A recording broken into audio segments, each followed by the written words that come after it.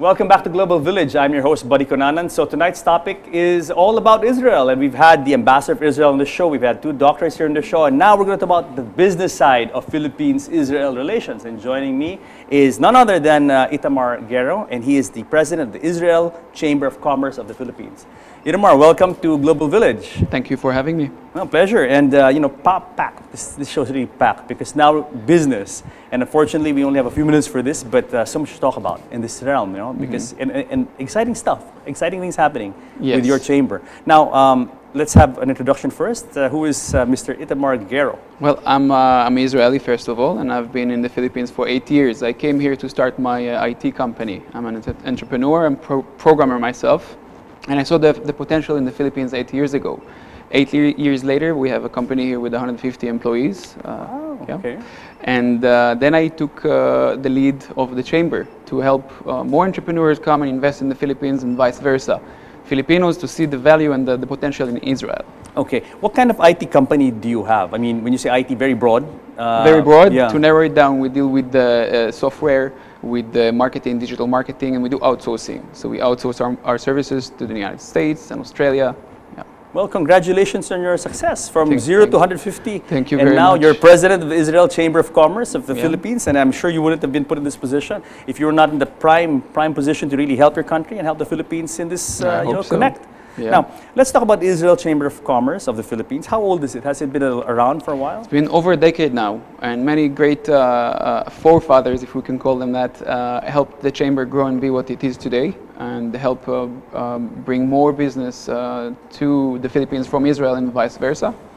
And now, after eight years in the Philippines, I, I think that now the time is right. Now um, more people are coming and more people are going, by the way, and the numbers speaks for itself because uh, there was a surge of uh, 44% in Israelis coming to the Philippines. It, uh, we were actually on top of the chart when it came to uh, Israelis coming to the Philippines, and the numbers on the, the other side is, are, are rising as well.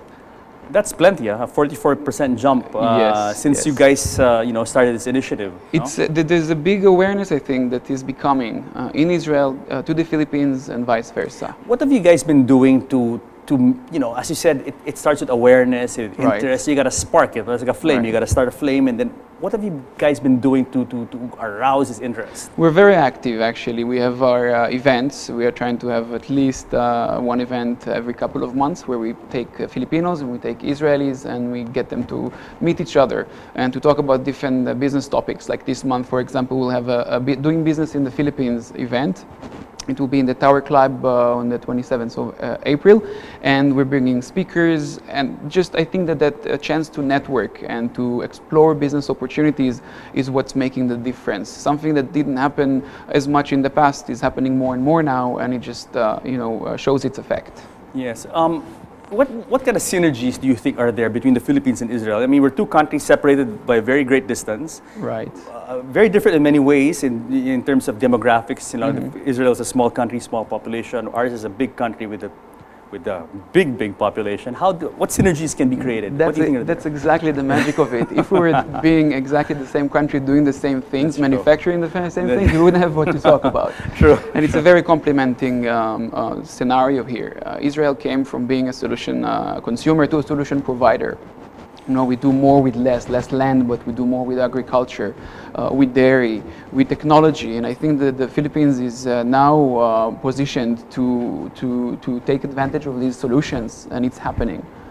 How did Israel become? I mean, example, you are, you came here as an IT person. You set up the IT Mm-hmm. company. I mean, unbeknownst to many people, Israel is actually a powerhouse of IT. I mean, uh, Right. Viber is from Israel, Viber, right? Waze, Waze, which everyone ICQ, uses. the first ICQ with the first, uh, yeah, yeah, all from Israel. Yeah, this is the stuff that we know about, but also behind the, the scenes or under the engine, under the hood, there's a lot of technologies, a lot of uh, uh, intellectual property that was developed in Israel in, in medical equipment, and there's a lot of it here in the Philippines as well. Medical equipment, uh, agriculture, agrotech, Uh, so Israel, yes, is known, and um, this is the, this is the part where Israel can help uh, the Philippines grow.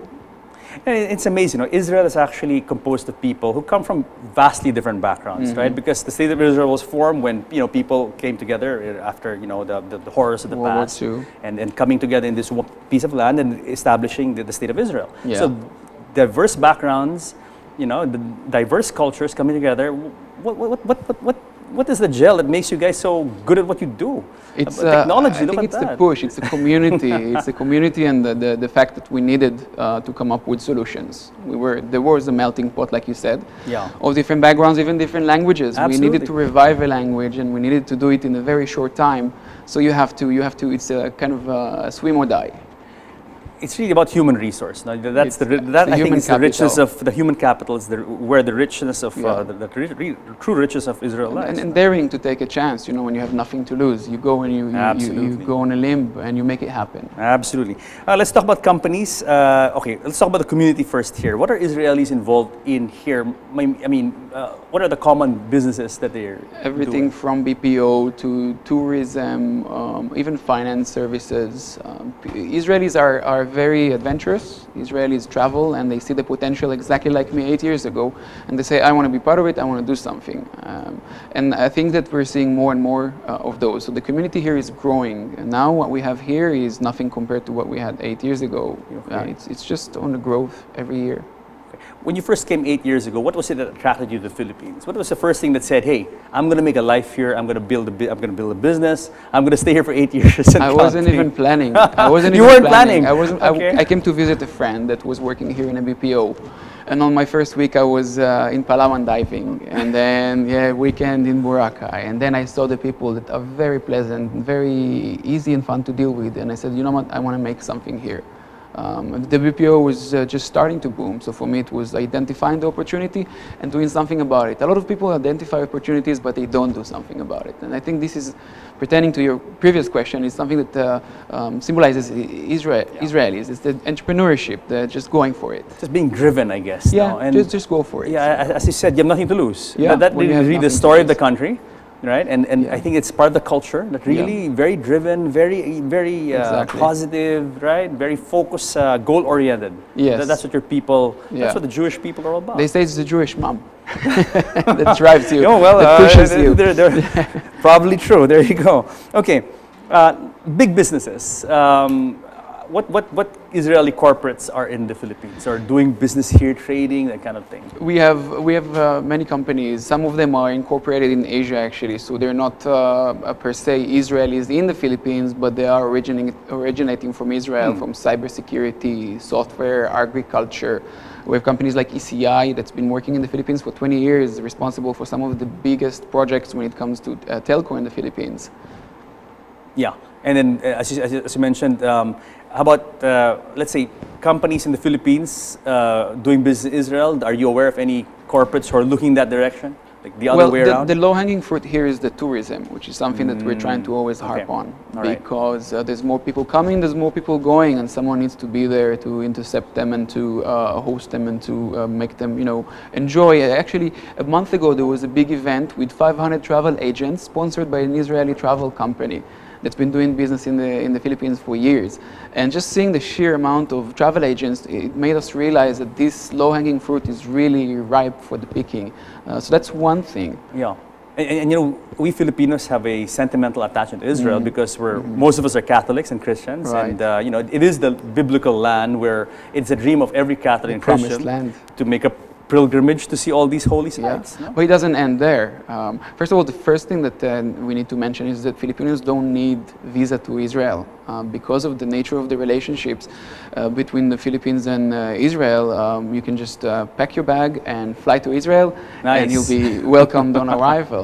So, of course, the pilgrimage is one thing, but then, like I came to the Philippines and realized that there is potential, and I want to do something, it can work the other way.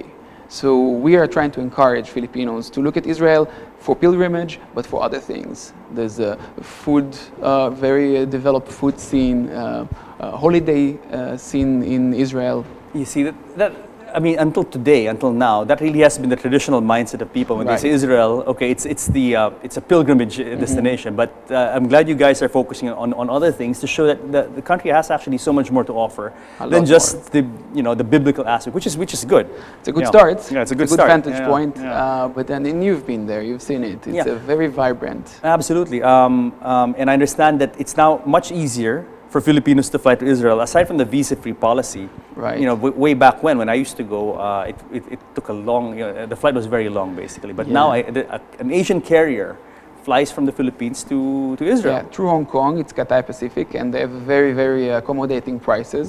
Um, but there's more and more airlines, Turkish Airlines, and El Al, of course, the Israeli airline, Ethiopian Airlines, Korean Airlines, and even Singaporean Airlines has joined the, the Fiesta because there is uh, an awareness of Sure. uh, going to Israel for more than just uh, pilgrimage. The numbers in Israel are, are on the rise as well for tourism. So we really encourage the Filipinos to, to, to take advantage of that. Excellent. Um, okay, let's talk about your plans for the chamber uh, for this year and coming. I mean, you guys are very active. Yes. And bravo. I mean, I want to laud you for your for your success. Um, what are your plans moving forward? How do you how are you guys going to take this to the next level? And, and, and who are you guys going to work with to promote? So me, I'm coming from the IT background, from the internet background, and what was uh, being done traditionally by you know um, uh, face-to-face, uh, we're trying to put it on a platform online on our website, which is the iccp.ph.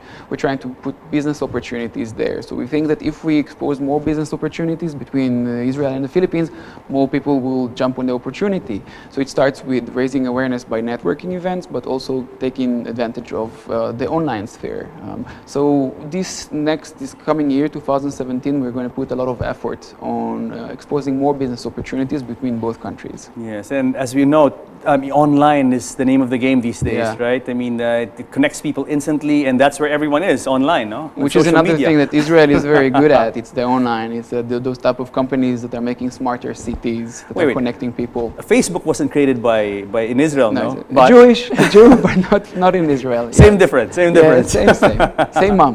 Same mob. okay. Itamar, a pleasure to have you on the show. And uh, I, I hope I was telling uh, the other guys on the show earlier that, you know, these topics, business and networking and IT, so much to talk about. Yes. Unfortunately, so little time as part of one big show, but I hope to have you again. We'll see each other and again. and let's promote your, your Israeli chamber uh, activities. Gladly. Eh, like, like any activities or corporate social responsibility projects, let us know. Gladly. Pleasure to have you on the show. Thank you very Thank much. Thank you very much, sir. So, guys, stick around because more of uh, Israel and back with ambassador when we return.